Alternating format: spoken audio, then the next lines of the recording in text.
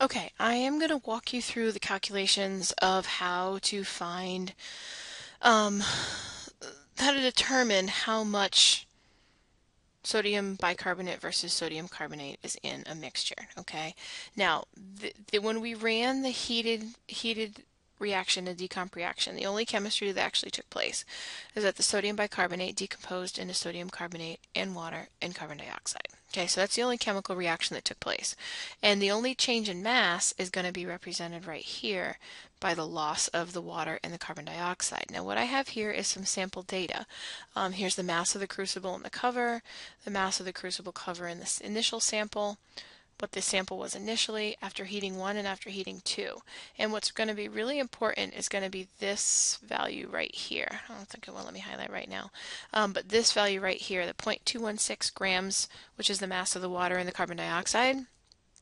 And we got that from taking the um, heat after heating number two and subtracting the crucible and the cover, and that's where we ended up with um, are 0.216. Okay, so if your data came out really funky and you your mass went up or something like that, use this data for your calculations so that you can at least have something tangible to talk about next week.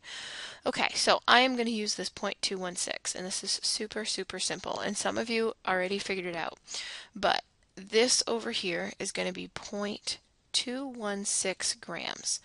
Now, we're going to be able, if we can figure out how much sodium hydrogen carbonate we started with, then we can work backwards from the mixture. So this 0.216 grams essentially is going to represent one, what we're going to do is all of this product, and we're going to consider all of this product to kind of be one mole of one giant molecule. And if we take the molar mass of water, water is going to be 18.02 grams per mole. And if we add it to carbon dioxide, which is 44.01 grams per 1 mole, we can kind of get this total molar mass for this substance of 62 grams per mole. So, I think you know where I'm going here.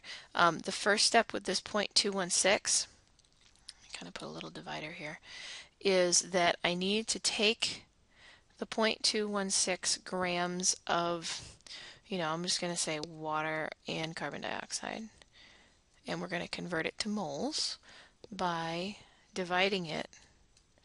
Actually, that'd be 62.03, wouldn't it? Okay, taking one mole of my super product, so to speak, dividing it by the molar mass, which is 62.03 grams.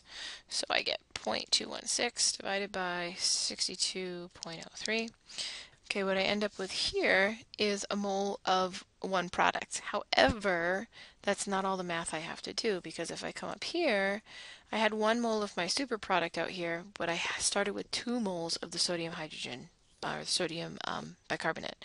So what I have to then do is multiply that by two moles of sodium bicarbonate divided by, by one mole of water and carbon dioxide, water, carbon dioxide.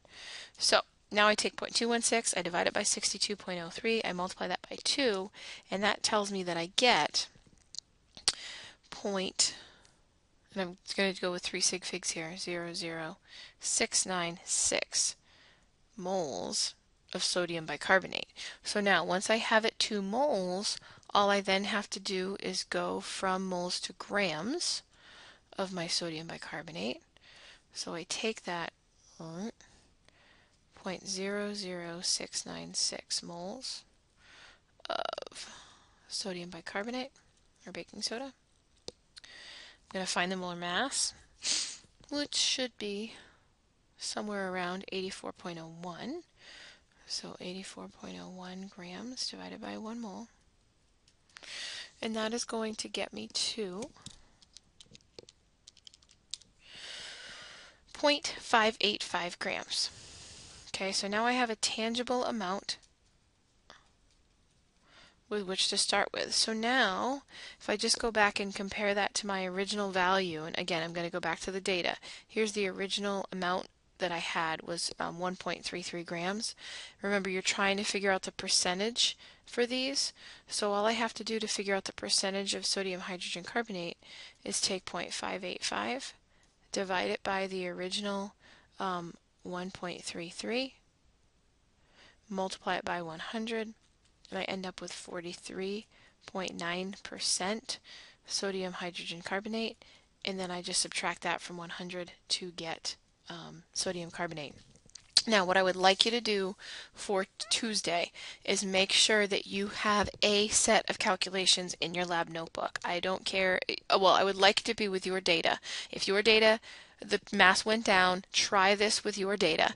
If not, at least copy this data set and this um, calculations into your lab notebook and then it'll allow us to on Tuesday to finish up the lab by doing um, a review of someone else's lab report as well as kind of having a final discussion. So anyway, I hope